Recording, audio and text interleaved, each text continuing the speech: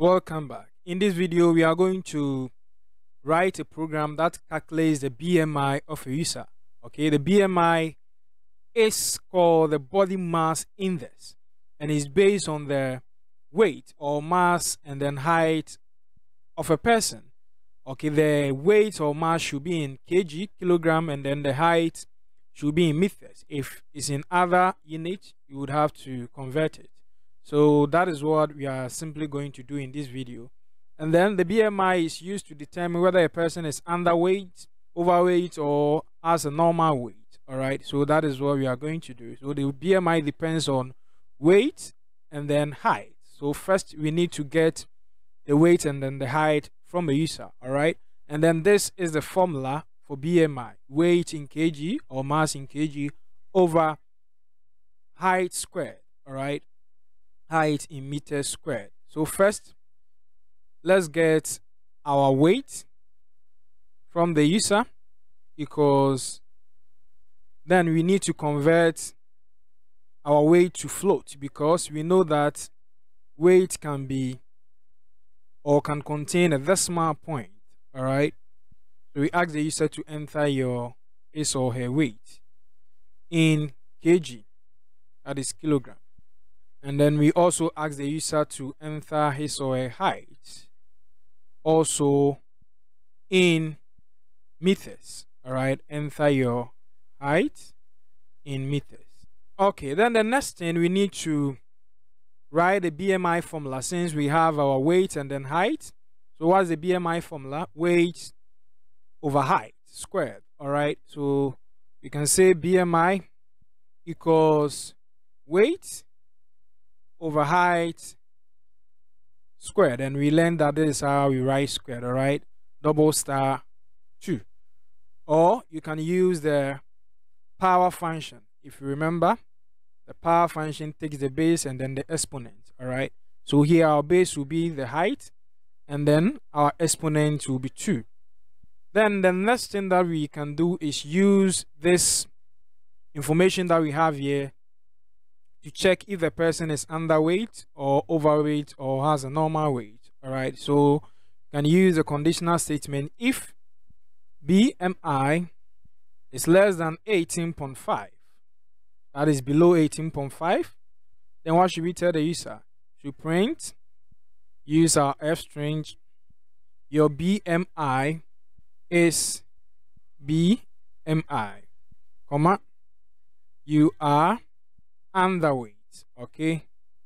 As simple as that. But if the person has a bmi that is above or equal to 18.5 all right equal or greater than 18.5 but less than 25 so that is what this means. So between 18.5 inclusive and then 24.5 inclusive. 25 is not part all right the person should be or should have a healthy weight or normal weight. So if the program checks this one and then it evaluates to false, then it will come to the next one. So if BMI is greater than 18.5, then you come to the next one. Use our elif. What should we check next? If the BMI is between 18.5 inclusive and then 25 exclusive, right? So we can say that if BMI is less than 25. As simple as that. Okay, let's bring our BMI here.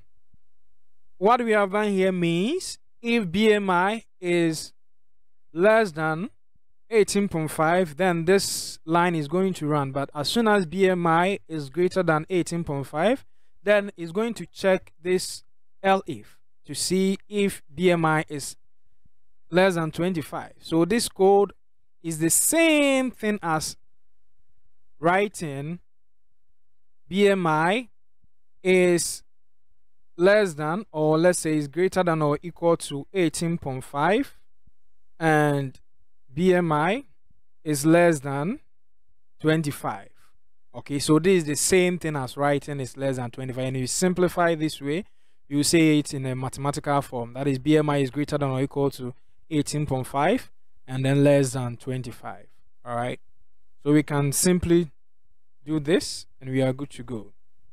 And if we have this, then we can print to the user that the user has a normal weight all right so let's clean this up.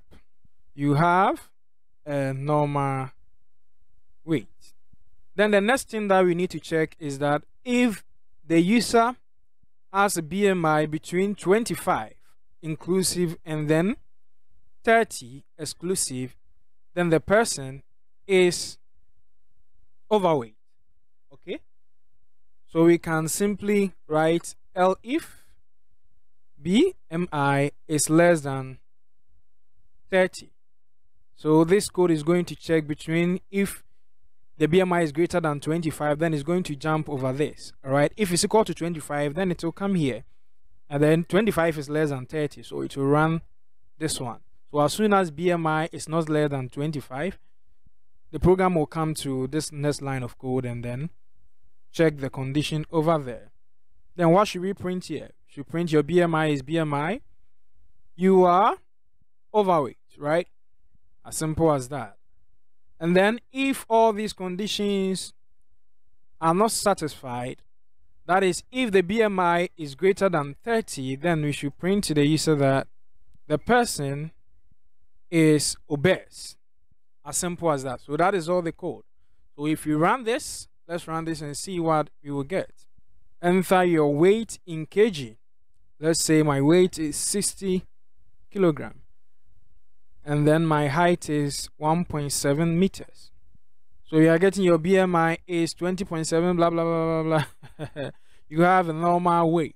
Okay, so there are a lot of decimals here. So since our BMI, we have only one decimal place, we can round our program using the round function. That is, we can run the BMI using the round function and then we can get this to one decimal place. All right. So if you want to two decimal place, you can just put two here. If you want one decimal place, you, write one here. The round function is a built-in function like the power function that we have used here. Okay. So if you run this one again, you are getting 60 that is the user's weight or mass and then my height is 1.7 meters so if you enter this you are getting your BMI is 20.8 you have a normal weight it's as simple as that so if we run it again and we input let's say 70 kg and then 1. Point, let's say 68 then we are getting your BMI is 24.8 still in the normal weight or normal BMI let's exaggerate this one and say the person has a weight of 80 and then height of let's say 1.5 very short? Oops. Your BMI is 35.6 you are obese. All right? So it's beyond the 30 mark. That is why we are getting this. But if we check the formula here, we are supposed to get the unit of BMI is what? kg per meter squared.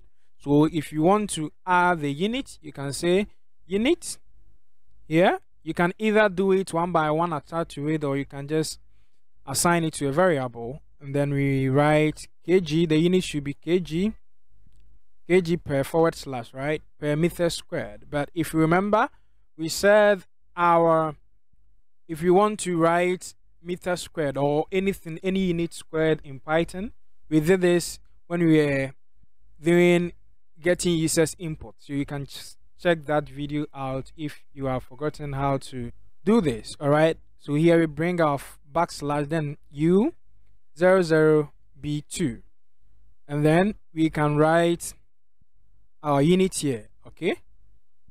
So if we run this one again we expect that we get the unit attached to it. So if you say 70, let's say 1.8 meters, you are getting your BMI is 21.6 kg per meter squared. You have a normal weight.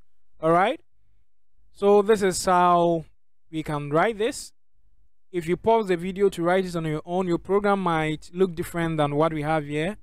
What we want is is your program running then you are good to go are you, are you getting the input or the output that you want then you are good to go. It's not compulsory that your code should look exactly as mine. There are different ways that we can do this. So if you check the code here, you can see that it's quite different from what I have here using the conditionals, but it works the same, okay? That is, this elif checks if BMI is greater than or equal to 18.5 and then check if it's less than 25 it's the same thing as we have done here but using different ideas all right so just try and write this program on your own.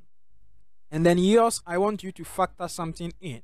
Instead of stopping at 30 greater than 30 you are obese you should continue on and factor these conditionals into your code. So if bmi is greater than 30 but less than 35 the person has obesity of class 1 all right? And if the bmi is greater than or equal to 35 but less than 40 then the bmi or the person has a obesity of class 2 and then if the bmi is greater than 40 then the person is extremely obese or the person has obesity of class 3 so i want you to factor or add these conditionals in your code and then try it on your own.